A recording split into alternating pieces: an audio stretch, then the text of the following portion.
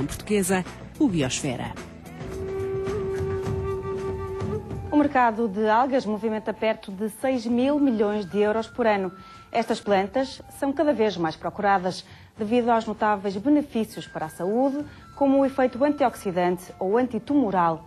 Cientistas portugueses estão, por isso, a criar aquaculturas de algas inovadoras na Europa e a desenvolver produtos originais com extratos destas plantas. Sempre que a maré permite, Celso Alves e Suzete Pinteus exploram as rochas em busca de uma alga castanha muito comum nas praias de Peniche, a Fucus spiralis. Sem ela não conseguem criar um produto único no mundo, o algelo. O algelo é um gelo que tem extratos de algas com elevada capacidade antioxidante. E antioxidantes que são únicos porque só são produzidos pelas algas e têm, em comparação com outros antioxidantes, tem um poder notável. Esta equipa da Escola Superior de Turismo e Tecnologia do Mar estuda os princípios bioativos das algas há bastante tempo, daí a criação deste gelo foi um clique de criatividade. Em 2009 uh, é lançado o primeiro uh, prémio universitário com uma componente exclusiva dedicada ao mar, pela Lota Açor, porque a Lota Açor faz a gestão uh, de todas as lotas nos Açores e, portanto, tinha que ter uma componente de, de, de pescado associada. E então, ehm, com esta motivação enorme dos alunos, numa viagem uh, para casa, lembrei-me que podíamos tentar associar os compostos bioativos que nós já sabíamos que algas é que tinham maior potencial antioxidante, usar estas algas, os extratos destas algas, e incorporá-los no gelo. Com a ideia, ganharam o concurso, a seguir vieram as experiências, mais do que animadoras. O primeiro teste que foi feito foi pensámos em fazer com, com sardinhas, que é um, um, produto aqui de peniche característico, e é um peixe que tem um, elevado teor de gordura, então um, degrada-se mais rapidamente. E logo aí tivemos resultados realmente bastante interessantes, que, que filetes de sardinha preservados em algelo aguentavam-se mais tempo com qualidade do que em gelo normal. Por exemplo, a vitamina E, que tem uma capacidade antioxidante notável, Uh, um, apenas um grupo que lhe confere esta capacidade antioxidante. Para perceberem bem uh, a potência destes compostos,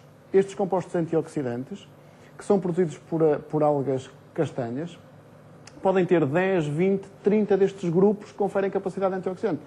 Então, na prática, basicamente, estes, estas moléculas podem ter 10, 20, 30 vezes mais potência que um composto como a vitamina E. O que é ainda mais interessante é que, do que se sabe, estas algas, estas macroalgas, são os únicos organismos que produzem estas, estas moléculas. Aqui são usadas algas comestíveis, pelo que não há qualquer risco no contacto do algelo com alimentos. Uma ideia eureka de uma simplicidade que impressiona. As algas uh, chegam do, da recolha do meio natural, são então lavadas, posteriormente e triadas, posteriormente são congeladas a menos 80 graus. Depois de estarem congeladas, passam para aqui para o liofilizador, que é um equipamento capaz de desidratar, eh, retirar a água das algas a uma temperatura muito baixa, a menos 60 graus, preservando os compostos bioativos, bioativos em excelentes condições. Depois da alga estar uh, liofilizada, a alga é triturada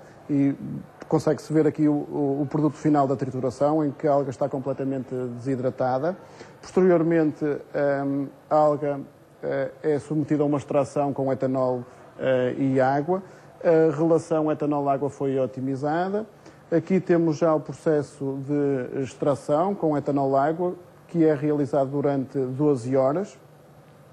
Esta solução, que depois que contém os compostos antioxidantes, é posteriormente filtrada e a solução final, à concentração que nós queremos de antioxidantes, hum, é usada para produzir o algel. Embora a conservação de pescado tenha dado o um mote para esta investigação, a equipa está convencida que o algelo pode ter outras aplicações. Onde nós depositamos também fortes expectativas é como estes compostos que são extraídos, que têm uma capacidade antioxidante tão grande, uh, podem ser utilizados como nutracêuticos e serem incorporados, estão incorporados no algelo e, por exemplo, podem ser utilizados uh, para uh, bebidas e para refrescar bebidas e ao mesmo tempo são veículos destes compostos uh, antioxidantes. Um nutracêutico é algo que nutre, alimenta, mas que também é terapêutico, cura e protege. Muitos cientistas defendem que a longevidade dos asiáticos advém do consumo de muitos nutracêuticos, como as algas. Os grandes candidatos são os polissacarídeos que as algas têm, sobretudo um grupo específico são os poli polissacarídeos uh, sulfatados. Os efeitos que isso tem em termos terapêuticos são vários. Uh, há estudos que apontam que, que têm efeito antioxidante, ou seja, retardam, por exemplo, o envelhecimento. Uh, têm efeito antimicrobiano, que pode ser antibacteriano, antifúngico, antiviral. tem, pode ser anti-inflamatório, que é muito importante, muitas das doenças, sobretudo nesta sociedade moderna, sobretudo naquelas doenças autoimunes, há um, uma procura muito grande por uh, compostos naturais que tenham efeito anti-inflamatório, ou seja, para retardar o efeito da doença. Sempre que comemos algas, absorvemos estas propriedades, mas no mercado de 6 mil milhões de euros, apenas 31% das algas são consumidas diretamente. A maioria é usada para extrair compostos para fármacos, cosméticos e alimentos. O europeu, em média, consome por dia cerca de 4 kg de algas. É, e esse consumo não é direto. Ou seja, a maior parte das pessoas nunca comeu sushi na vida ou nunca experimentou um prato feito com algas. Mas, ao utilizar produtos convencionais que todos nós consumimos, desde, como eu falei há pouco, do leite chocolatado, dos pudins, das gelatinas, eh, de inúmeros eh, produtos da indústria moderna alimentar, estamos a consumir indiretamente as algas. Na Irlanda, durante décadas, agricultores e pescadores usaram uma solução do musgo da Irlanda para curar constipações. Por acidente, quando colocaram uma concentração elevada da alga em água, descobriram que se formava uma gelatina. A responsável por essa reação é a carragenana, o composto mais usado na indústria alimentar.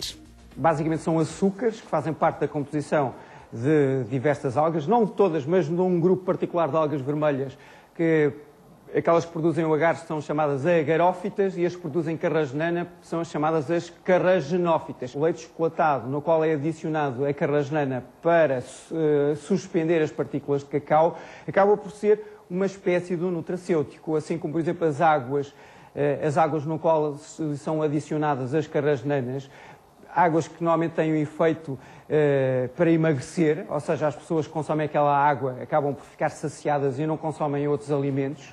Eh, também é um nutracêutico. Lionel Pereira estuda há vários anos a capacidade terapêutica das plantas e ajudou recentemente a criar a primeira barrinha de frutas do mundo que contém algas. Pertence à empresa portuguesa NutriGreen e já foi premiada internacionalmente. Para além de ter os, os benefícios da fruta, que todos nós conhecemos, é-lhe adicionado um polissacarídeo sulfatado que funciona com uma, uma fibra hidrossolúvel eh, que ajuda a melhorar o trânsito intestinal e tem o efeito adicional de fazer baixar o nível de colesterol e, eventualmente, proteger, por exemplo, o, o sistema digestivo de, dos problemas que nós conhecemos de carcinomas ou outros problemas de saúde que são muito, comum, muito comuns na sociedade moderna. Em Peniche, os investigadores do projeto Bambu estudam o cultivo de algas em reatores maiores que estes, mas a investigação ainda agora arrancou. A primeira aquacultura de algas foi inaugurada em 2012, em Aveiro. O projeto BioLife Mar vai criar a segunda nas salinas abandonadas do Mondego. A razão da escolha das salinas é porque parte do trabalho eh, prévio necessário para preparar o local para cultivar algas está feito. Ou seja, os tanques que eram anteriormente usados para produzir sal podem ser facilmente reconvertidos tanto para a produção de algas como para a produção de, de peixes, de bivalves, para desenvolver uma ideia que eu que já defendo há alguns anos, que é o que se chama aquacultura multitrófica.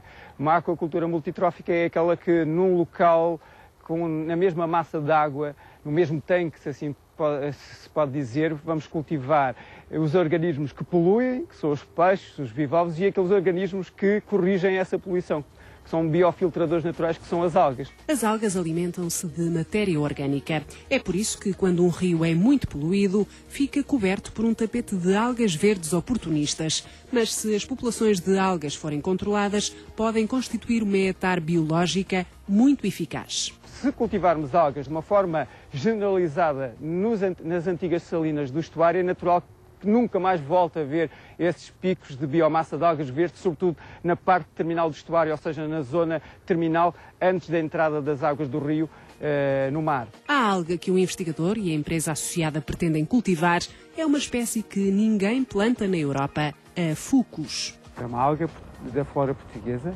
adaptada a uma zona de estuário e com interesse comercial, com um produto que pode ter interesse comercial. Uma das características eh, normais das macroalgas marinhas é que elas precisam, aliás, a gente vende pelo, por este pequeno, estão a ver aqui este pequeno disco de fixação, isto indica que é um organismo que para ser saudável e se reproduzir tem que estar aderido a uma rocha. Ou seja, não vamos poder cultivar em, em, em água aberta, destacada de um substrato de fixação, substrato sólido, mas provavelmente vamos ter que usar a tática que é usada já há muitos séculos, há muitos milénios na Ásia, nomeadamente na China e no Japão, que chamam processos de long line, cultivo long line, ou seja, as algas são cultivadas aderidas a uma uma grande corda. Das algas castanhas extrai-se a fucoidana, que, entre outros efeitos, impulsiona a morte de tecidos cancerígenos. No continente europeu eh, não existe nenhuma empresa a fazer comercialização desse, desse produto. Existem noutros países, noutros continentes,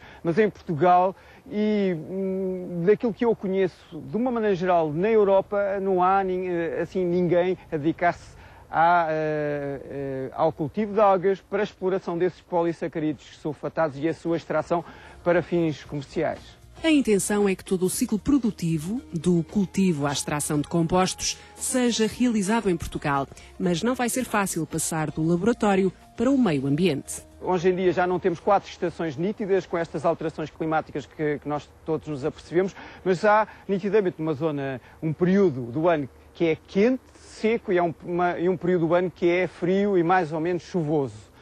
Em laboratório não existe essa variação e nós temos que saber que as algas vão eh, corresponder, vão adaptar-se a essas variações sazonais. Eu tenho a ideia de que há algas que só vão conseguir eh, ser produzidas em determinada altura do ano, quando são no exterior. Não existem dados compilados, mas estima-se que a indústria portuguesa use toneladas de extratos de algas por ano. Quase todas são importadas. O problema é que normalmente em Portugal seguimos sempre aquela lógica de exportar a matéria-prima e não tiramos, eh, não tiramos a mais-valia de fazer todo o ciclo de extrativo, todo o ciclo de utilização do produto, ou seja, colher as algas ou cultivar as algas, extrair os compostos bioativos ou os, os polissacarídeos e introduzi-los na indústria nacional para produzir os alimentos feitos com esses polissacarídeos. No universo das microalgas, as empresas biotecnológicas portuguesas estão a inverter esta tendência. Com a ajuda dos investigadores do Instituto Português do Mar e da Atmosfera, pela primeira vez na história extraiu-se de uma microalga quantidades comerciais de um composto muito valorizado, o esqualeno. Aquilo que, que ele tem sido usado é muito em termos da cosmética, acaba por ser usado, porquê? Porque tem um papel muito importante em termos do rejuvenescimento da pele, e, e, desse modo acaba por ser usado na cosmética, também na farmacêutica como veículo de vacinas e daí também tem uma procura muito, muito grande. O esqualeno foi descoberto no início do século passado em extratos de óleo de fígado de tubarão. Durante anos, milhões de tubarões foram explorados, mas os princípios de sustentabilidade já não permitem estes métodos, por isso há que optar por outras alternativas. Para o seu crescimento é a água do mar, água do mar, que é eh, suplementada com uma fonte de carbono. Esta fonte de, de carbono, neste caso, estamos a usar os resíduos também da produção de refinação de, do açúcar. Como, eh, como fonte de azoto, usamos extrato de levedura podemos considerar que tem um preço uh, acessível, um preço baixo na produção. Outro aspecto que também é importante realçar em termos desta, desta produção é que nós usamos os bio, bioreatores na sua produção e desta forma nós conseguimos padronizar, ou seja, controlar o crescimento e saber que a quantidade que eu obtenho hoje de escoleno é igual à quantidade que eu obtenho amanhã. Um litro de esqualeno pode chegar aos 120 euros. Empresas multinacionais, como a Unilever, já usam esqualeno de origem vegetal, mas proveniente de azeite ou amaranto. Os rendimentos destas fontes são muito baixos quando comparados com o que se conseguiu obter com as microalgas. De 100 gramas de biomassa de microalga, extrai-se 6% de esqualeno. Dos resíduos do azeite, o esqualeno extraído não chega a 1%.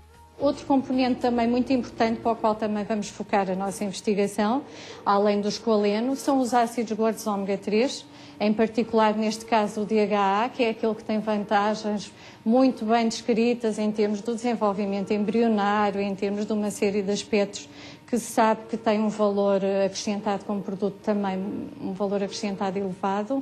Também carotenoides, pelas cores, vê-se que têm umas cores tão apelativas e deste modo também os carotenoides são foco do nosso interesse, pigmentos. E, e, portanto, não vamos focar só no esqualeno, mas iremos tentar estudar e obter daqui o máximo. Os resíduos de biomassa de microalgas podem ser usados para alimentar peixes ou até produzir biocombustível. Nos Estados Unidos, há empresas especializadas e todos os anos são produzidas 5 mil toneladas de microalgas. Estas microalgas uh, são compradas, acabam por ser, porquê? Porque nós precisamos de uma estirpe pura para podermos padronizar as condições de produção.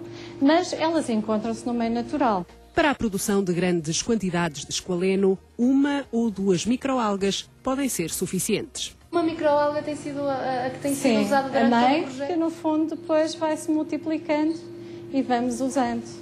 Dentro de dois anos, a produção de esqualeno a partir de microalgas estará a um nível industrial. Outras micro e macroalgas estão no horizonte de investigação das equipas de cientistas portugueses. O que se sabe sobre estes organismos marinhos é ainda uma gota no oceano, mas o que a indústria portuguesa pode ganhar a curto prazo com a exploração desta matéria-prima e apostando numa gestão eficiente e sustentável deste recurso, faz pensar que o desígnio da economia nacional pode mesmo ser uma aposta no mar. Se só agora chegou à nossa companhia, saiba que já fomos conhecer o que